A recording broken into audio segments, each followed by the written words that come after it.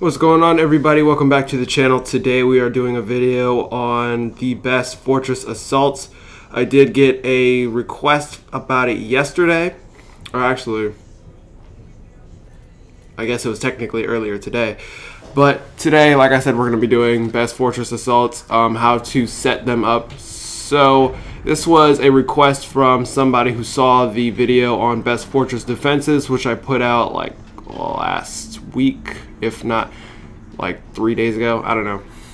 Now that we're on break and not going to school, I literally lost concept of time, and I have no idea how many days have passed. So let's go ahead and move on to a different region, because right now we're using this region for War for Mordor. Um, let's go ahead and go to a region that we're not going to go to anytime soon. So I didn't post a poll asking you guys which region of these two you wanted to go to first. So we're just going to go to Lithlad. We're going to do this one.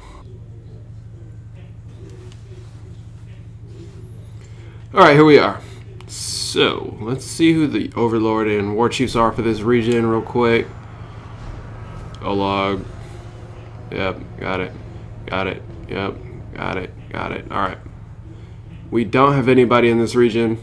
So, and I can't put anybody in because the Wi-Fi is down. Right. Okay. I forgot about that. Um, for some reason the Wi-Fi went out in this area. Alright, so we're just gonna have to go back to a region where we have people and lose it. Alright, so let's go... I don't want to do Gorgoroth because we're currently working in that region. Let's go to Cirith Ungol. Alright, that was a little inconvenience, but it'll work either way. It doesn't matter which region we're doing it in. Let's see how many people we got in here. We have a lot. Hopefully no one dies. I don't think anybody's gonna die, but in order to make this video, we kind of need a region where there is an enemy overlord. So let's go ahead and set that up real quick. All right, here we go. So first of all, what we're doing here is we have a region controlled by us. And in order to change that, we need to lose this fortress. And the way that I usually do that is I just back out of a fortress defense and then you lose. As long as you endure, hope remains. Thank you. To us orcs, and we're coming to take it back. Under normal circumstances, you would definitely fail. But since I'm literally here to give it to you, have at it. There we go. And it is now a slaughter fortress. So they took my overlord. I'm gonna go get him back, by the way. And they put the amputator up. Congratulations, I hope you guys feel good. Our overlord is over here. Why are there two rescue missions? They took two of my guys? That's not even fair. So literally I have to choose. I'm obviously going for my overlord. Who is this? Yeah, I don't care if he dies. I'm not letting him die. Can you back up? I literally just spawned here. Asshole. Alright, let's go get our guy. Olrock the Prowler has been captured by Poog the Gen. Doesn't even matter, he's gonna die. We're gonna save our guy and kill this dude. Hopefully our other guy escapes. My master will come for me. And when he does, you're going to regret everything. This is correct. You know what the saddest part of an execution is? The fact that the victim never knows what we do to the corpse. Interesting point of view.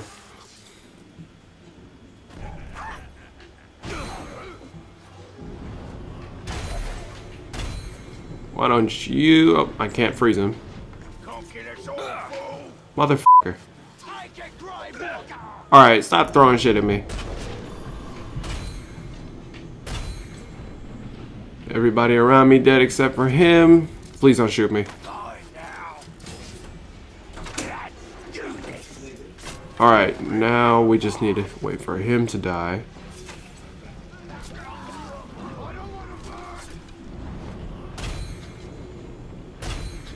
Come over here. Oh, he's not coming over here. Alright. Can't do that. I want to give him a chance to kill him. He won't do it, though. I'm definitely not gonna die. There we go. Alright, so now that he's good, we just need to go get the other guy. We can start up. Oh, he's alive. Alright, so he got away from the other guy. Who was the person who captured him, though? Was it him? No, it was this guy. Pretty sure. I think. I don't know. We have an overwhelming amount of captains in this region. We have a majority. So basically, almost none of these war chiefs have bodyguards. Only two of them. Alright, so now we can go ahead and get to what this video is about. Let's go ahead and head to the fortress. Alright, so just like I did for the fortress defense, I'm going to go through all of these fairly quickly. Um, just giving you a little brief summary of what they're all about. This shouldn't take more than, I don't know, four or five minutes. But first, before I do that, I'm going to choose the captains I want to be up at the top. Let's go with, who do we want up front? Let's use the devoted and of the hand. And now let's start being strategic with who we bring. So for Fortress of, yeah, I almost said a false. Fortress Assaults you're going to want to bring captains that are good at killing other captains. All right, so this is the same thing for defenses. Um, I put up front a trickster and a tank. Now, I put those two guys up for nothing other than the fact that they are both riding Caragors, and I like their names. That's it. But when you go into a fortress assault, you're going to want to be strategic with the orcs, with the orcs you decide to bring. So you're going to want to look at their classes. So look right here. This guy, Skoon Flamemonger, he is a Slayer. You're going to want to have Slayers, at least one or two. At the very least one. You should probably bring two, though. If you don't have two, um, guys with axes, these guys are good. What are they called? Savages. Savages are good. Defenders are good. I wouldn't bring more than two archers. You probably should only have one. Like a marksman. That's alright. An assassin's alright. Here we go. We got another slayer right here. Who else? You're going to want to have a beastmaster. Preferably with the trait where he can summon a Graug. So let's see. Can he do that? He does. Graug call. We're bringing him. He's terrified of more, terrified of Morgai flies. So we're not going to be shooting nests down because he'll run away. But say you get stuck somewhere and you can't get through a wall or you can't break through the gate and your guys are just outside and they can't get in. If he summons a Graug, either the Graug will break the wall or you can get on top of it and break the wall or break the gate open or whatever like that. So it's just helpful to have just in case you get stuck like that. And I want to bring him just because he's the overlord or he will be the overlord of the fort when I take it back. All right, here we go. We're going to run through this quick. So we've got Sappers, Mounted Cavalry, and Olog-hai. Sappers, they break open the, the gate. Sappers are good for breaking open wooden gates. So here is the slot where you would be able to choose a wooden or a metal gate, a poison sprout or spout, or a fire spout. He chose, or the game chose, poison spout. So that's how I know that this fortress currently has wooden wall or wooden gate. I cannot talk. Sappers. They have a wooden gate because they're using poison spouts. Sappers will break open the wooden gate very easily. Next up. Oh, let me go through these actually. Mounted cavalry, they'll jump over the walls. Um, this actually is helpful because they do not have spiked walls, which will be in this part right here. They have Farsight archers, which are actually extremely toxic, but you'll see what that or what Farsight archers do in the siege. Um, but they're not using spike walls, so that would be alright, but I tend to go with sappers, which is a good idea. Olog-hai break the walls of the fortress, but they're using poison spouts, so that's not a good idea. Here we go. Savage host, defender host, hunter host. Savage Host basically just go in and kill people. I don't know, they're like the basic. You've got defender hosts which take points faster, and you've got hunter hosts which kill beasts they have a Wargraug. So Hunter Host would be good if they had War Wargraug and Cal or and Caragors inside the fortress. They only have a Wargraug though. And seeing as how I can dominate that in two seconds, I don't really feel the need to have Hunter Host with me. Plus, Defender Host just make the siege go faster. Fiery Siege Beast, Poisonous Siege Beast, Cursed Siege Beast. Fiery siege beasts attack walls and gates. The poisonous siege beast attacks the beasts inside, and cursed siege beasts attack the war chiefs inside. I almost always go with fire, but in this case, I'm going to go with poison because they're using poison, or not poison. What are they using? Yeah, they're using a poison siege beast, so I'm going to copy what they're using. If they were using fire, I would use fire. If they're using curse, I would use poison. So if they're using poison or curse, use poison. If they're using fire, use fire. Fight fire with fire. Shelob's Brood, you just have spiders walk around the fortress and, you know, piss people off. You got a Wargraug, which I will always use because I can dominate it immediately and bust into the fortress in two seconds. And a Wild Drake. Never use this. Never use this. This is the stupidest thing ever. I don't know why this is in the game. I, I'm not trying to hate on the game or anything like that. It's just, I don't understand this. It would be helpful if the Drake was on your side, but if you read it, a Drake swoops in to rain fiery chaos onto the fortress. Be warned, the Drake's fire does not discriminate. It will attack everybody. Not only that, but Drakes tend to die within a minute of going over a fortress. It's not that helpful at all. It's like a waste of a slot. Fire archers, Farsight archers, or mounted archers. This one, it doesn't matter what you choose at all honestly, I just play any, meeny, miny, mo with this because it, it really has very little effect. So I'm just going to choose Farsight Archers because I feel like it gets rid of the archers at the top. I think. I don't know. And then Inspiring Banners and Overpower. Always, whenever you do a siege, always use Overpower. It doesn't matter what siege it is, it doesn't matter where it is, or the Overlord, always use Overpower. Inspiring Banners just enrages your troops. It's not even that helpful. Here we go.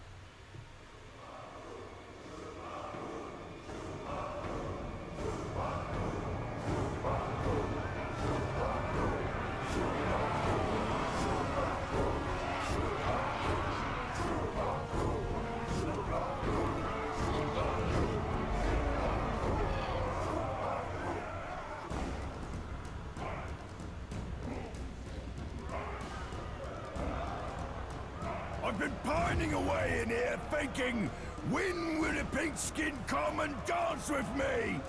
Let's dance! Look at what you've brought me. So many shoulders, so many rumps, so many loins. I quiver in excitement. Ready whenever you are, boss. Unless you wanted to listen to more from this windbag. This battle will be over quickly. We don't want to miss luncheon. Alright, here we go. Now, you guys will see how well these choices affect your siege. They have right there a War Wargraug. Look how fast that just got tainted. I took that in two seconds. And those Graugs are almost dead because we have poisonous Graugs. That gate just got opened immediately because of the sappers. And both their Graugs just died. Look at that. See? Proper siege tactics lead to a swift victory. Now all you gotta worry about is the guys inside.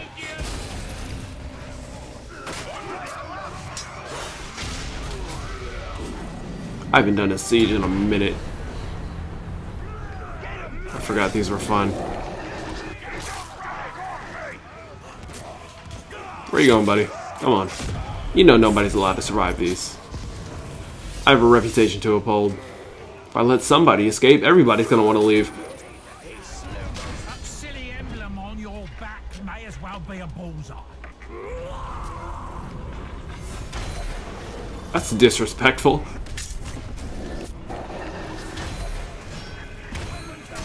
You talking to me like that because you're a war chief and you think I can't cut your bitch ass in half.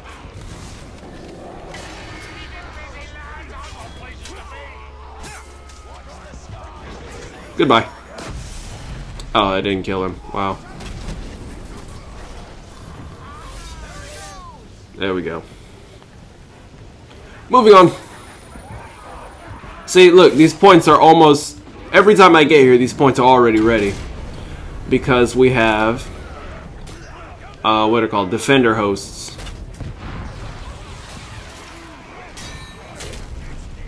When I'm done with you, there'll just be a man-shaped puddle of green goo. Is it funny?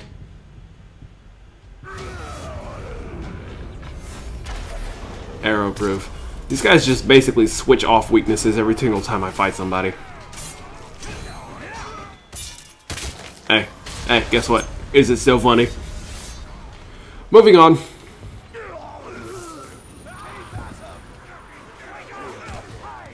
See, I don't even have to step. Who just left?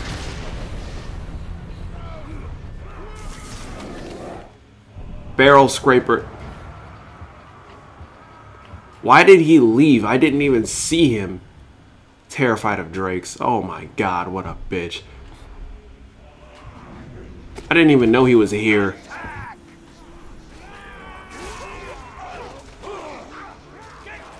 Wait, this is the third point.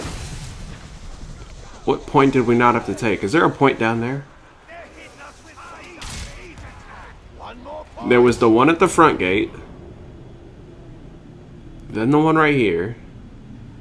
Then the one right here. Where's the fourth point? This is the one we're at right now. Where the hell is this one? That's gonna bother me forever. Alright, well. Let's not worry about it.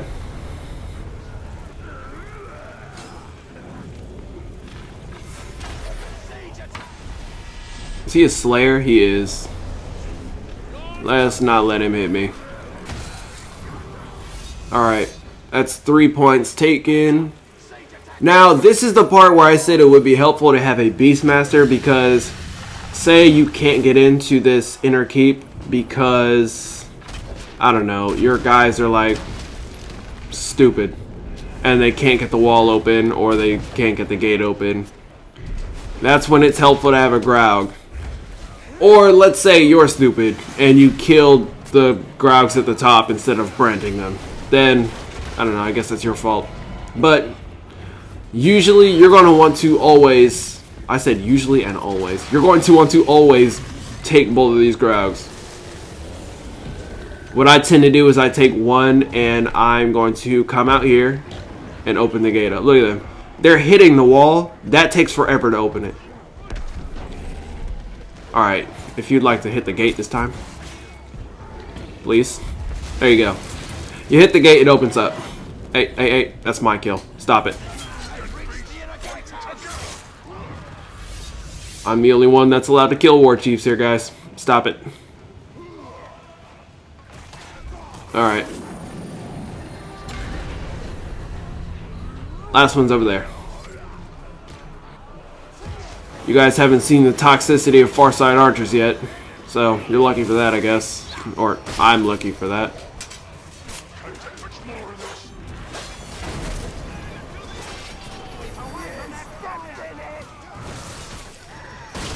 Could have sworn there were two guys over here. Oh, yep, yes there are. Here we go. And I just killed my spiders. You're not gonna hit me. Get that idea out of your head. And where the hell are you going?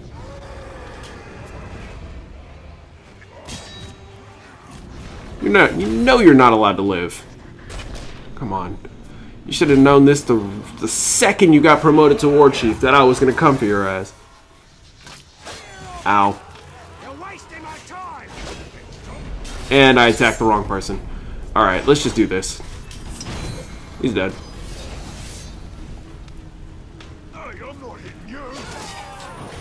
No, because if you hit me, I would kill you. Hey, buddy. Where you going? Where you going? Okay, he's just immune to everything. Please don't tell me he's gonna run away. You can't be serious. I've had worse. He's a tank. And nobody's gonna help me fight him. He's immune to the three things that I use. Execution, stealth, and it wouldn't let me shoot him either. Oh, I can shoot him.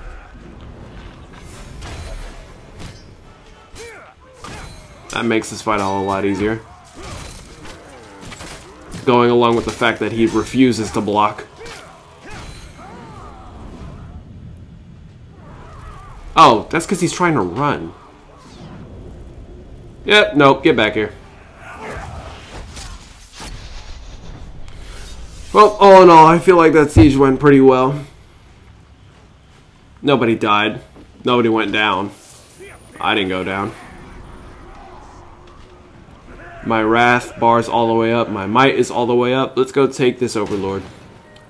I give him approximately approximately two minutes or less to live. Let's see how this goes. This throne room is fire.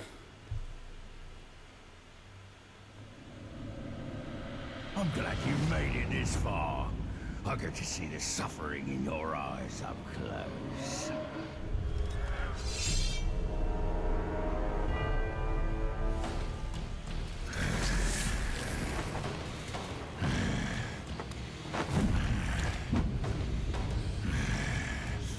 Is he a tank?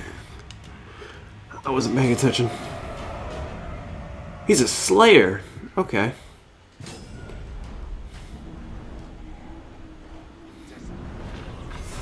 One. Two. Three.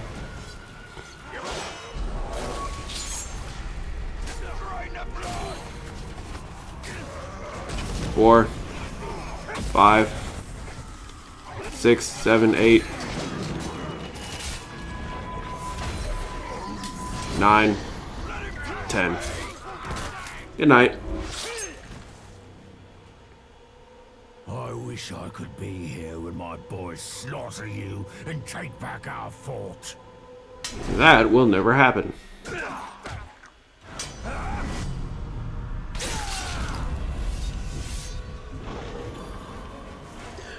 Well, that went pretty well if I do say so myself. That's pretty much all there is to it. I mean, you just go off of what I said, and you should be able to counteract any defenses that the uh, game decides to put up against you. Alright, well, thank you guys for watching. That's about it. See you on my next one.